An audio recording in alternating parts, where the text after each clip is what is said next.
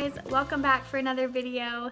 Today I'm going to take you along as we explore Preparing Hearts for His Glory by Heart of Dakota. This is a wonderful guide. I've used it before with my older son and this year I'll be using it again with two of my kids. So let's get started. Here it is, Preparing Hearts for His Glory by Heart of Dakota and many of the books that go with this guide. So I want to show you guys today inside this amazing program. And first of all, I just want to show you that this is for ages 8 through 10 with extensions for ages 11 through 12. So you can teach kids from 8 years old to 12 years old in this guide alone, which is a great span of ages. If you have a large family and you need to kind of work from uh, less guides instead of putting each child in their own guide, if you're able to combine them, this is a great guide to combine them in. Of course, always check with um, their really handy uh, placement charts that they have before you just try to stick your kids in this guide. Make sure that they're placed well in this guide because when your kids are placed well in Heart of Dakota, they have a great year and they'll really enjoy it and you'll really enjoy it. If they're not placed well, you're probably going to have some frustrations either because it's too easy or it's too difficult and you don't really you really don't want either one of those in any kind of homeschool program really. You really need to make sure that your kids are placed well. So don't skip over those placement charts especially in Heart of Dakota. So let me jump right into this. And first I'm going to show you guys this guide. So in reading the beginning of this guide before making this video, I did notice that they said that these are their kids. These are Carrie's kids that were going through this program that posed for this photo. So it's maybe not the kind of cover that I would choose, but it's kind of special that they are able to put their own kids' photo in this because they wrote this for their kids. And then, you know, she shared it with all of us, and it's been such a blessing to so many people. So, inside this guide, I have tabs already that I put on this and these tabs are just um, right here. These post-it tabs, they're like a kind of translucent white post-it tab and I just wrote on them with my micron pen here. I just had to wait for it to dry because it smeared the first time I tried it. So, but I like these tabs and they work well in this book because they're sticky so I can actually just peel this tab off and place it on the next day when we're done with this day. So this is the day at a glance here. This is your whole day in this guide. And these little boxes are really helpful. They keep you really organized. The way that these are separated, you can clearly see these different areas that you're going to be working through. And it just, um, for me, in my mind, it makes it a little bit less um, chaotic or stressful. I'm just able to see at a glance here all of the things that we're going to be doing. Excuse my voice. I have a little bit of a hoarse voice right now. I've been fighting this cold, not COVID. I already had COVID several months ago, but this is just a cold and it's driving me nuts. But I wanted to go ahead and do this video anyway, so I apologize for my voice. If you'll notice in the guide, in each of these boxes, there is a T, an S, or this one has it, an I. So those stand for teacher directed, semi-independent, and independent. So that just kind of clues you in with this guide if these boxes are something that you have to hold your child's hand through it, or if it's something that they can take the reins, they can take this box, science here for example, they can take this science box and they can do this pretty much on their own especially by the end of the guide. Even if they can't do it on their own at first, they'll kind of work on that skill, being able to do that on their own. So by the end of the guide, they are working on science all by themselves.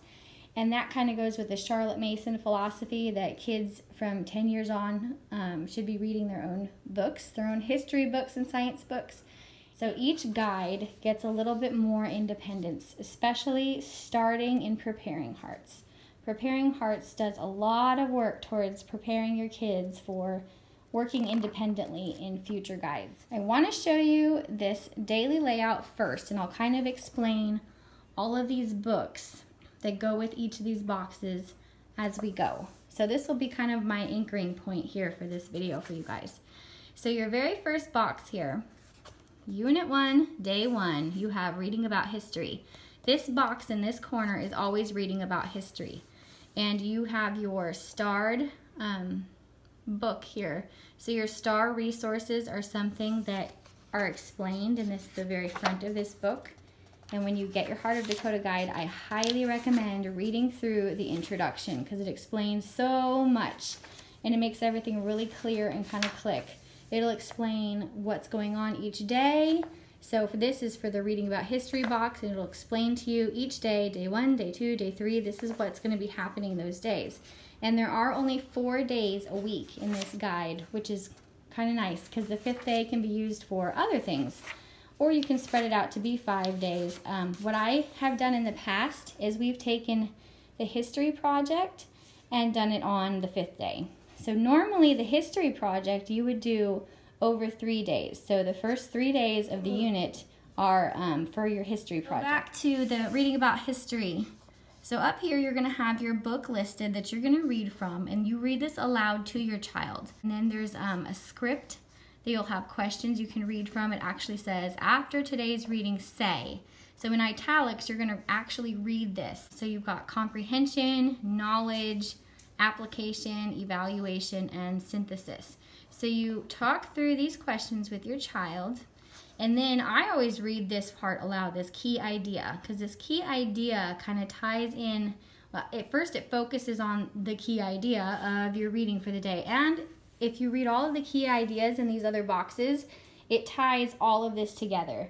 So this is a unit study, which means that these topics just branch out into all different places. But because of these key ideas, Carrie, the author of this book, has very nicely pulled all of the things together. So it makes sense and you know why you're researching this topic and you know what you're learning in history and how it ties into Bible, and then science, how science ties into, you know, geography or um, more history or whatever else it is.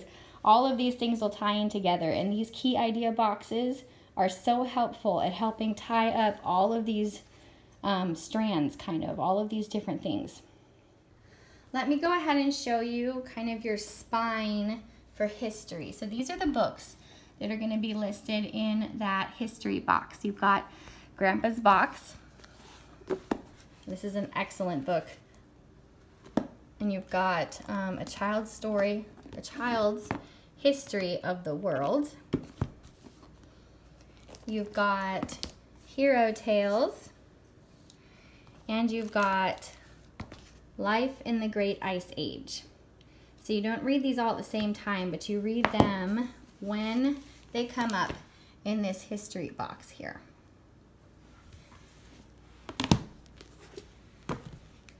So those are kind of your spine books that you have to have to complete the history in Heart of Dakota, preparing hearts for his glory. So after this box, you've got down here your history project, which I already mentioned. You do this three days a week. So for this first unit, and this you can actually see this on their website. They have this first page so you can um, kind of get an idea of what's in their curriculum.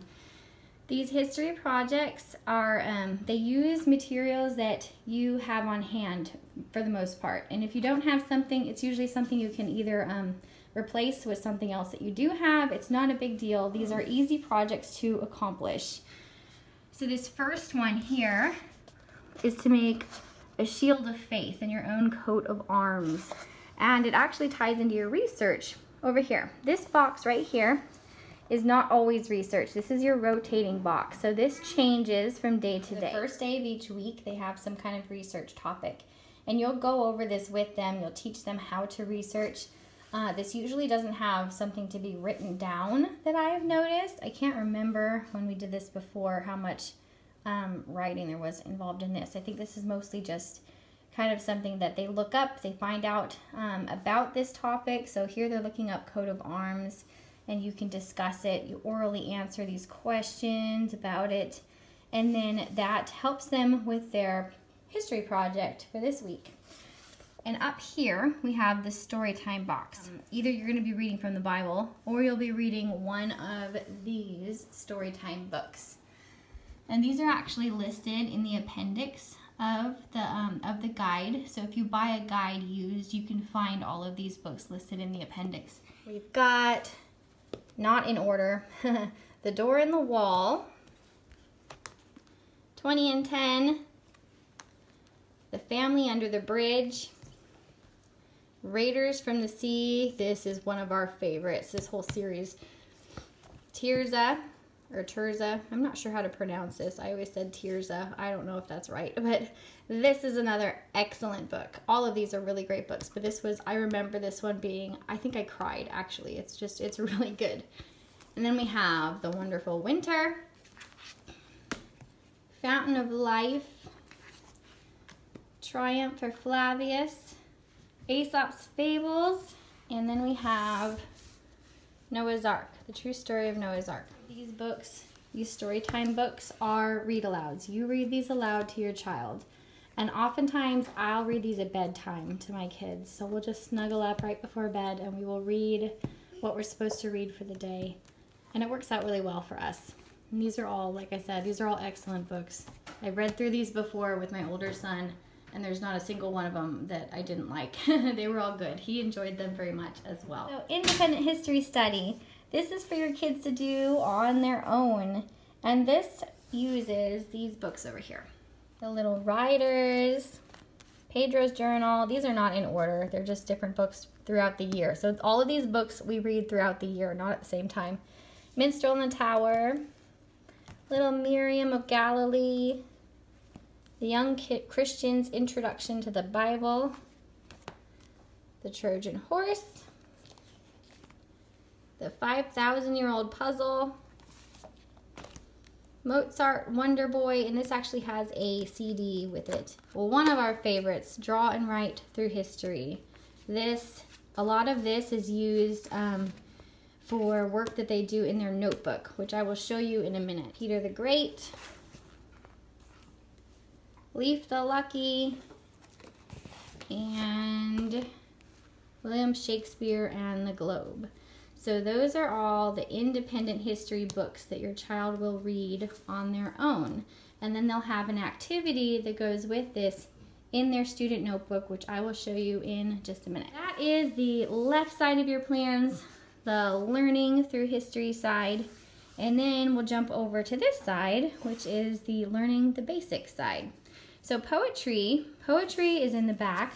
I have it tabbed right here. It's the very last section in the appendix in the back. All of the poems are kept there, and then these poems, you'll um, you'll do some activities with these poems. You'll read them, you'll talk about them. You'll um, they'll have some questions to answer. Sometimes they do writing activities with the poetry, and then it, so it often ties into the language arts. language arts box. And this is something that you do with them, but there's also portions that they'll do by themselves. So you'll start with dictation, and in the back, again, in the appendix, there is dictation level two, level three, and level four. This will be the very first one they do. And what you do is you let them look at this for 30 seconds, a minute, however long they need, so they can study it. It's called studied dictation. So they're allowed to look at this.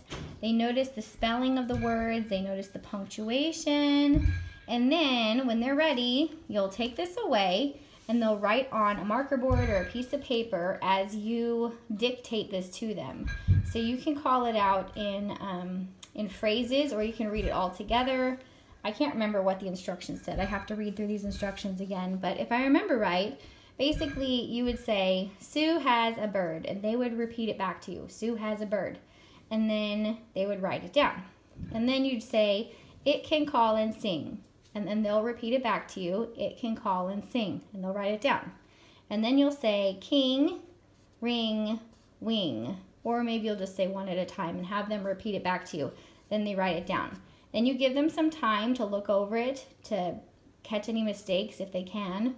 And then you'll give this book back to them and you'll let them check their work.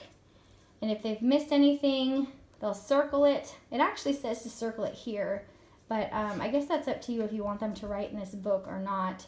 Um, and then they'll fix it in their own writing. And then they'll do this again each day until they've gotten the whole thing correct the first time.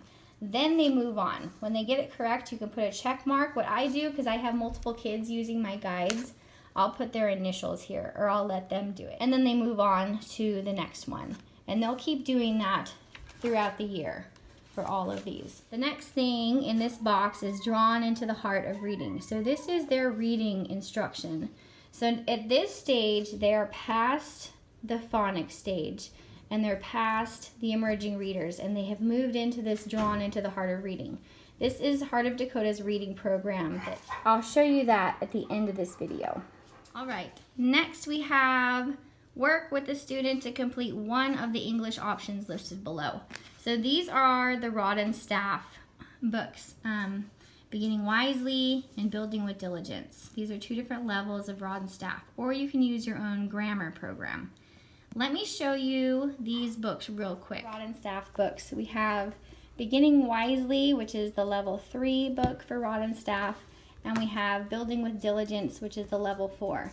Now these levels are not, um, they're not the same as public school grade levels. Rod and Staff is pretty advanced. I love these books for teaching grammar. They are very thorough they're straight to the point. They don't have a lot of fluff. It's a really solid program. I do recommend getting the teacher guide with these, especially with level four, because it gives you a lot of pointers in here and it gives you answers. It's something you want to have so you can look up the answers if you get stumped. To go with the language arts, they'll just need a little book. I actually made this for my daughter. I have a little Etsy shop. I don't have this one posted in my Etsy shop, so you can't buy this one right now because it was um, kind of difficult to assemble. It's the first one I've made like this, but anyway, you can just get um, just a, a small, simple lined notebook for them to do their language arts lessons in. When you do the lessons, you don't need to do all of this written work. This is meant for a classroom originally. So when we do this at home, we'll go through this lesson about pronouns and noun phrases and we'll just I'll sit on the couch usually with my kids and I'll have my teacher book, they'll have their student book, and we'll read through this together. And then this oral drill, we'll do this whole thing out loud. Written practice, review and practice. So between these two, we'll do maybe a third to a half of this written work. And I'll usually just kind of glance at it and see which ones that I want them to actually write down. We'll split it up so that it's maybe half out loud and half written down. Back over to our teacher guide here, let me talk about science for a minute. I love their science. Um, my son who went through this in the past loved their science. This is, um, it really is a unit study style science here. So you have these books right here. These are all the science books that they're going to read through. And this is an independent box for them. So they read these. They read these according to the page numbers that they're given for the day. And then they'll have some kind of activity to do with it. They'll either have like a notebooking assignment or questions to answer or an experiment at the end of the week. And it really just pulls from everywhere. So you can see in this one, so they're gonna read One Small Square, Arctic Tundra and they'll set up their notebook and then they'll copy down a scripture and then they're going to be making a map. This says they're going to trace a map that they're going to look at on this Arctic Tundra page. So they're going to open their book, they're going to look at this map and they're going to draw it themselves. They're going to color the tundra blue and then they're going to copy the first sentence of text next to their picture. Then they're going to look at a real globe and see where the tundra is found. And again, here's this key idea here that usually the science here will tie right back into history. I love the unit study approach that this science has, and it just gives them a view of science from kind of a broader perspective. So using all these books, they get they get to see science applies to the world that they're talking about, the time period in some of the guides um, and I think it's really neat. It's not such an up close look at, you know, microorganisms or something. Now they'll get maybe a closer view at science in the older guides, but in these younger guides, I just love how this is done with the literature approach and just looking at kind of this science topic as a whole, just from further back, so they can see all these parts and how it all goes together with the geography, with, you know, they'll talk about animals, they'll talk about water, they'll talk about this ecosystem, they'll talk about like all of these things that connect together. So they're not thinking that science is just this one little thing that's far away. I, it's not it's not like that. They get like a broader view of it, and I really love how Heart of Dakota does that. And last but not least, this Bible study box, we are going to be talking about the Psalms this year. We're going to be reading through the Psalms. We'll be having questions to answer. We'll be having discussions about the Psalms. We'll be talking about a character trait, godly character traits. They're going to be memorizing scriptures from the Psalms. And this Lead Me to the Rock CD, they actually sing the verses that we're going to be memorizing. So, and I've listened to a portion of this, the samples online, and I think it's really beautiful. So I went ahead and bought this, and we're going to be listening to this because I think it's really good. And I have this Bible here that we use for our um, Heart of Dakota curriculum. It's an NIV, I believe. Yep. NIV because that's what they have suggested in some of the younger guides. I'm not sure if that's what's suggested in this book, but I have the NIV. We use this for school. That's kind of our school Bible. So um, you will definitely need a Bible doing this curriculum because you'll see even on the first day you're going to be reading from Ephesians. You're going to be reading, this is actually the, same portion, just well, a portion of what you're going to be reading for the story time and you'll be reading scripture over here. It's used throughout. They're going to be copying scripture and science. You can't get a more Christ-centered curriculum than this, in my opinion. I've never seen a curriculum that has woven Jesus Christ into the pages the way that Heart of Dakota has. So one more thing I wanted to mention before we look at the notebook are these books right here. These are the extension books. So these books are for your 11 or 12 year old that is doing Preparing Hearts for His Glory. Now, when to use these books is not on your daily page here. You actually have to look in the back. In the appendix has your extension schedule. So they have all of the books listed out that are part of the extension and the weeks that they're going to be used. And then you have your actual schedule here that will tell you what pages to read. These extension books are written at a higher reading level. So this brings their um, independent reading up to their level. These independent reading books are at a lower reading level. So these extensions are meant to, um, to just up the reading level for your older students. Let me just go through these books for you guys so you can see what they are. We have Louis Pasteur, Journey to America, The Shakespeare Stealer, Who was Marco Polo, Adam of the Road, Bjorn the Proud, The Bronze Bow, Aesop's Fables, Ancient Civilizations, and uncovering the mysterious woolly mammoth. And that was not in order. I probably have them in opposite order actually. so again, that's in the appendix here. I have my extensions um, tab already made. So, and again, these are sticky tabs. So when we're done on this page, once we've gone through this first unit, I'll just peel it up and stick it on the next page. So all I ever have to do is hold on to this tab and open my book and we're right where I need to be to see what um, the extensions are for the day. You guys have stuck with me this far. I'm ready now to dive into this notebook. Now, this is new for this year. Um, well, I guess they came out with this in like March, maybe March, April, something like that. So I have not used these notebooking pages before. The last time I did Preparing Hearts, they didn't have notebooking pages. So I'm excited to see how this works out. Um, my kids are excited to see how this works out. My daughter just came down while I was making this video and she's super excited to start school because she heard me talking about all the awesome books that we get to read. So I want to show you what I've done. I just got um, a three ring notebook. I think this is like a one and a half inch, maybe one and a half inch, I think. I don't think it's two inch. Anyway, I've just got a simple notebook here. I got these dividers on Amazon. If you guys are interested, I'll link them below. But they're just kind of, um, I don't know, slightly decorative, but not too distracting. so this first section, I have the Preparing Hearts for His Glory Independent History Study Notebook. So this goes with these independent books. Again, these are the independent history books that they'll be reading on their own. And they'll be working in this every day. So they have a little something to do every day. So plants and trees, this they're actually going to be drawing from this book here. So they're going to actually be drawing their, let me find the page. Okay, so they're going to be drawing their plants and trees from this book right here in this box. So that's really nice. They'll be able to do that. And they can just use colored pencils. I wouldn't, um, I don't think markers would work well on this. They'd probably just wipe right off because this is kind of a slick paper. You even see colored pencils here. use colored pencils.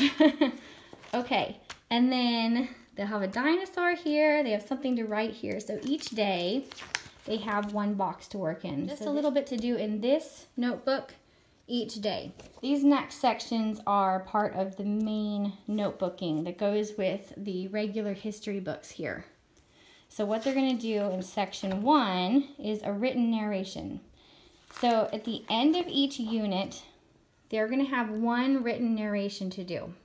So their very first unit, their very first week, they'll have one written narration to do here. And their next week, the next unit, they'll have one written narration to do here. So they'll be working in this notebook once a week. Now this section two here is their vocabulary, which they're gonna do once a week also. Do this one day. They'll look up these words, they'll write the definition, the sentence, and they'll draw a little picture here. And then they have these guess the meaning words down here. And that is all they do for that day that they have vocabulary. And then there's section three, which is your timeline. And now um, in the guide here, it's gonna direct you to cut out these timeline cards and they're gonna make their timeline card, they're gonna set it up the way that the book tells them to. And the book actually has them kind of make these either as a stair step on a wall, which I'm not gonna do because I have these creatures that will probably knock them off the wall. So I've decided instead um, to set up this timeline book. I already told you guys I have an Etsy shop and I make a lot of printables. So I went ahead and made this and what we're going to do is this is our timeline. we're just going to keep it right here in our notebook. So we're going to cut these out and we're going to paste them onto this timeline here. And we'll just, we'll put as many as we can on one page and then we will flip to the next page and keep going like that. That's their timeline that they do once a week. And I set up their notebooks to have um, this blank paper for their science section. They're going to make their own science pages this year. I thought about making printables for this, but I decided, you know what, looking back on it, I really like to see their work. I want to see how they set this up because it's really, I really love it. I cherish their work when I have it to hold on to. And then this next section is just lined paper for when we need it. Um, I might turn this into the language arts section or dictation or something. I haven't decided yet because I'm still on the fence about um, what, uh, which language arts we're going to use this year. Um, yeah, I'm still deciding between just going with the rod and staff and the drawn into the heart of reading that is listed here in the guide, or we're going to continue with the good and the beautiful. I'm not sure. My girls love the good and the beautiful. Um, my older daughter has some drawbacks with it. She doesn't really like the biographies that she's supposed to be reading. She thinks they're kind of difficult and long. So I don't know. I'm still I'm still praying on that and I'm figuring it out. We might end up doing the good and the beautiful because it really works well for my kids. It really does. Um, rod and staff, though, like I said, is excellent. So I think you can't go wrong either way. um, yeah, so that's another video, another time. I'll do kind of a comparison for those for you guys. So those are the notebook pages. That's where all of our work's going to be kept. Oh, and if you're interested, ooh, I can't do this very well with one hand, but this, this is just like a clear zipper pocket I also found on Amazon. So if we have loose things from doing projects or something, that, that's where it's going to go. It's going to go right in here. And um, these came with my dividers here. So my girls has one of these notebooks and they'll keep all of their work for preparing hearts right here in this notebook. So real quick, I wanted to show you Drawn into the Heart of Reading. This is Heart of Dakota's um, reading program. It's a literature program. So what they're going to do is they're going to study the different genres, and they have some discussions, and they learn story elements, and um, all kinds of good things in here. So this is the teacher's guide where you get all of your information as the teacher, and this is used for all of the different levels. All of the different levels are written right into this teacher guide, so you can teach all of your kids at once. And then you've got the different student notebooks that are level. I'm just going to show you guys real quick some of the Drawn into the Heart of Reading book packs that I have. I've collected a pretty big library of them over the years because I've done this for several years now. And we haven't always done Drawn into the Heart of Reading, but we have read the book packs, the books from the book packs, and I'll show you those real quick. So right here in this shelf is where I keep our Drawn into the Heart of Reading books. So these are all books from the different book packs that we have collected. Um, and then a few others. I think some of those are actually from one of um, like the reading options from Bigger Hearts maybe. And then these containers down here have the, um, the guides and the books that go with the guides for the levels that we are not currently using. So over here I have um, a catalog just in case I needed to look something up. I've got the emerging readers and some of the extra books that are listed um, that go with the emerging readers is just an optional book. And I've shown you guys that in another video. And then over here, I have the level twos and level threes, and I do have tape on them. I take washi tape, and I will use the same color for the different book packs. So for each book pack, each book um, pack level, I've got different washi tape. So I've got my level twos, my level threes, and the level fours. And some of these I just haven't put washi tape on yet. And then we've got some more over here. I've got some level fives and some ones with no tape on them. I think those are sixes because I just didn't mark them yet. Um, yes, actually, maybe they're fives. I don't remember what they are. I'll have to look. But these are some of the ones my daughter's going to be reading this year. She is super excited about this one, Castle Corona. For whatever reason, she's probably judging a book by its cover, which I have to teach her not to do that. but she wants to read this one first. She's really excited about it. We'll probably do a book review on this one because of how excited she is. Um, and then she's going to be reading these other books here as well. And then my younger daughter, I think she's, what did I get for her? I think she's doing the level three books, if I remember right. I will do another video all about Drawn into the Heart of Reading and I'll show you these books in more detail. But I wanted to give you a quick look at it today. Oh, while I'm at it, I'll give you guys a sneak peek. This will be another video too, but this chest here, it looks like a little um, suitcase. I can't pull it out right now, but this has our maps in it, and I think it's really fun because whenever we do geography, we get to pull this out, and we pull out our maps that are rolled up, and um, I'll show you guys all about that because it's been really fun. It's been neat.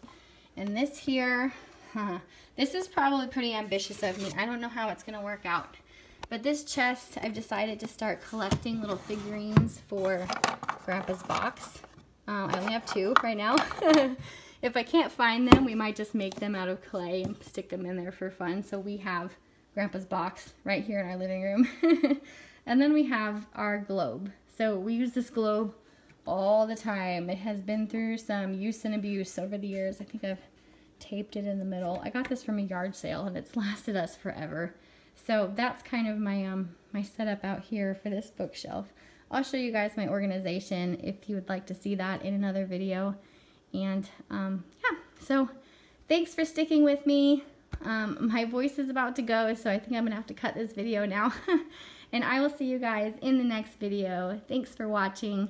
Give me a thumbs up if you like this video and stay tuned for more videos to come. Creeper. He's going to play a game upstairs. Oh no, don't blow up. Don't blow up. he blew up my table.